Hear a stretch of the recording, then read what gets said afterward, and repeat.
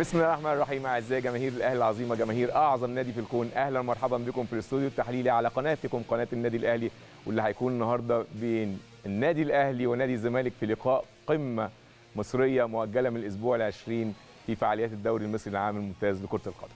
طبعا مباراة القمة تغنينا عن إن إحنا نتكلم في أي حاجة تانية. كان نفسي أتكلم في حاجات تانية ولكن النهارده خلي كلامنا بس على مباراة القمة. مباراة القمة ليها أجواء خاصة. الحاجات التانية ديت يعني تعليقي سريع عليها إذا لم تستحي فافعل ما شئت. دلوقتي إحنا بنتكلم على لقاء قمة أو دوري من نوع خاص. طول عمره دوري من نوع خاص. مهما كانت حالة الفرقتين مهما كان ترتيب الفرقتين مهما كانت المنافسة. ولكن هو بيجي مبكرا شوية اليومين دول. بقاله فترة بيجي في بداية الدوري. والدور الثاني طبعا بيجي في البداية. أحيانا أحيانا أو في معظم الأحيان بتبقى الماتشات دي مش مؤثرة على مين اللي يكمل ومين ياخد الدوري. ولكن تبقى دائما مباريات الأهلي والزمالك بطولة خاصة. دوري من نوع خاص. أجواء خاصة للناس كلها. مسؤولين لعيبة جهاز فني جماهير. كل واحد بيبقى ليه طقوس خاصة في مباراة القمة. هي مش مجرد مباراة بثلاث نقط بس. لا زي ما قلت لحضراتكم دي بطولة خاصة. من زمان من زمان جدا جدا جدا. بطولة خاصة بين النادي الأهلي ونادي الزمالك مش من النهارده. وهي كمان حاليا مهمة جدا جدا في مسيرة الفريقين في بطولة الدوري. حتى لما كان زمان بيبقى الدوري محسوم وكان ساعات بيجي أو أحيانا كان بيجي ماتش الأهلي والزمالك وغالبا كان بيجي ماتش الأهلي والزمالك في نهاية الدوري. واحيانا بيبقى محسوم. كان اللي بياخد الدوري الفرقة الثانية عايزة تضيع عليه حلاوة الدوري. يعني حتى حتى الماتش لما يكون محسوم البطولة لا ليه أهمية خاصة. دوري من نوع خاص. مباريات الأهلي والزمالك مباريات قمة من نوع خاص. وعلى فكرة مش لازم الأفضل يكسب. يعني مش لازم الأفضل هو اللي بيكسب. يمكن اليومين دول النادي الأهلي متفوق شوية فنيا. الفرقتين آه مش في حالتهم زي ما إحنا عاي... زي ما إحنا عايزين. يعني مثلا بنقول عن النادي الأهلي في افضل حالاته الفنية لا يعني النادي الأهلي مش في أفضل حالاته الفنية ولكن هو متفوق من الناحية الفنية على نادي الزمالك اليومين دول. ولكن ده مش مقياس. ده مش مقياس. المقياس الملعب والتوفيق. عنصرين مهمين جدا جدا جدا. وطبعا الإصرار والعزيمة لازم يكونوا متواجدين في الفرقة اللي هي بتلعب على المكسب والفرقة اللي عايزة تكسب. ولكن التوفيق نمرة واحد. نادي الزمالك النهارده متفوق على النادي الاهلي بفرق أربع نقاط. نادي الزمالك يمتلك 44 نقطة النادي الاهلي عنده 40 نقطة ولكن النادي الاهلي لسه له ثلاث مباريات مؤجلة. عنده سموحة الجونة المقاولين بخلاف ماتش النهارده قدام الزمالك. النهارده الناس تقول لك إيه؟ هل الأهلي هو اللي محتاج الفوز ولا الزمالك اللي محتاج الفوز؟ لا. أنا من وجهة نظري إن فوز الأهلي النهارده إن شاء الله هيبقى دافع كبير جدا جدا جدا الفترة اللي جاية لاستعادة القمة وبإذن الله يوسع الفارق بعد ما يكسب المباريات المؤجلة. يبقى هو الزمالك وبيراميدز هم أقرب المنافسين. لا هيبقى النادي الأهلي باعد شوية. إن شاء الله يكسب ماتش النهارده ويكسب الماتشات المؤجلة. هيبعد شوية ويرجع تاني اللقب المفقود بفعل فاعل من السنة اللي فاتت.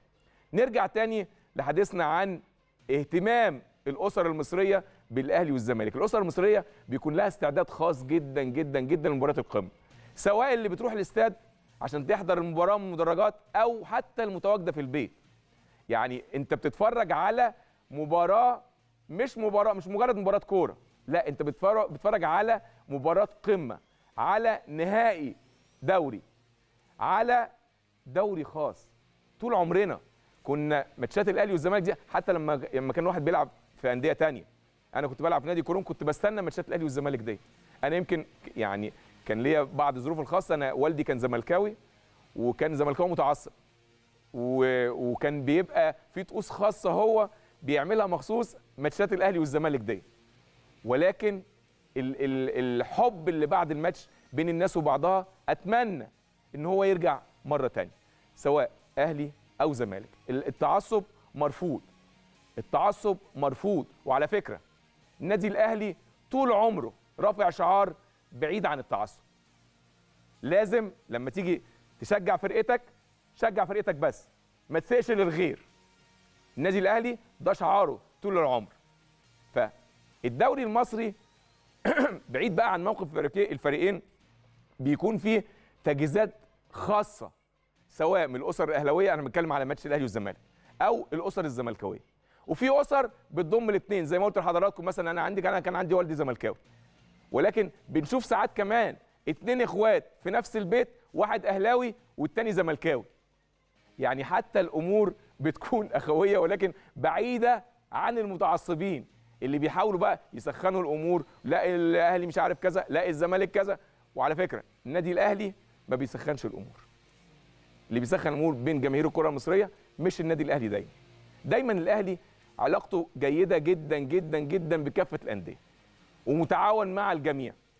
ولو رجعنا لورا هنشوف كم مواقف كتير جدا جدا الاهلي مع كافة الأندية. نقف هنا بس معلش والتعامل راقي جدا مش مجرد كلام على فكرة. وعايز أتكلم في نقطة مهمة جدا جدا يعني ما كنتش عايز أتكلم فيها.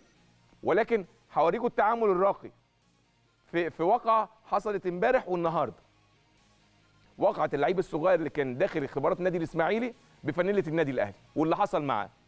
واقعه النهارده حصلت في اختبارات النادي الأهلي بلعيب ناشئ صغير لابس فانيلة نادي الزمالك وإيه اللي حصل معاه؟ فالتعامل الراقي ده أنا بكلمكم على النهارده في اختبارات النادي الأهلي لعيب صغير لابس فانيلة النادي نادي الزمالك والتعامل الراقي كان معاه شكله إيه؟ أنا بس عشان عايز أعرف حضراتكم الفرق بين الأهلي وأي فريق تاني مع احترامي لجميع الفرق المصرية. قمة اليوم هي قمة طبعا مهما كان آه، حال الفرقتين بيتابعها العالم العربي والشرق الأوسط وأنا ويمكن بعض الدول الأجنبية أنا جت عليها فترات قعدت فترة كبيرة في أمريكا بنبقى مستنيين ماتش الأهلي والزمالك بفارغ الصبر سواء مصريين أو أجانب حتى اللي بيسمعوا عن النادي الأهلي ونادي الزمالك. طبعا إحدى الدربيات المصنفة على مستوى العالم هو الديربي بتاع الأهلي والزمالك ضمن أول عشر دربيات في العالم. زي ما وصفته من قبل صحيفة ذا صن اللي هي البريطانية عن حديثها عن ترتيب أقوى 20 مباراة بين منافسين أو غارمين في جميع البلدان حول العالم. فالديربي مش قليل. ليه مكانته؟ كأول ديربي في القارة الإفريقية وأيضا الشرق الأوسط. ولو رجعنا شفنا بقى تاريخ ماتشات الفرقتين هتلاقي هم لعبوا مع بعض تقريبا مش تقريبا في الدوري 123 لقاء النهارده ال 124 التفوق فيها زي ما حضراتكم حافظين الحمد لله. النادي الأهلي فاز في 47 مباراة. النادي الأهلي فاز في 47 مباراة. التعادل كان في 49 مباراة. فوز الزمالك كان في 27 مباراة يعني نادي النادي الأهلي متفوق بفارق 20 مباراة. يعني تقريبا مفيش فرق. لعيبة النادي الأهلي على مدار التاريخ جابوا 151 جول واهتزت شباكه 108 جول. كان الراحل الكابتن أحمد مكاوي رحمة الله عليه صاحب أول هدف للنادي الأهلي في قمة 1948 يعني في بداية الدوري العام المصري. وأيضا أحرز الراحل سعد رستم أول هدف للزمالك في نفس القمة دي سنة 1948 تعالوا نروح بقى الماتش النهارده من الناحية الفنية نتكلم عليه. الماتشات دي ملهاش معايير. زي ما قلت لحضراتكم قبل اللقاء لو في فرقة عالية فنيا عن الثانية مش معناها إنها هتكسب الماتش. لكن اولا بيبقى في تحضيرات. بجانب التحضيرات الفنية بيبقى في تحضيرات نفسية. الجاهزية النفسية تبقى عندي أهم في بعض الفترات من الجاهزية الفنية. التوفيق. عليه عامل كبير جدا جدا جدا داخل الملعب. واحيانا يرجح كفة أي حد من الفرقتين.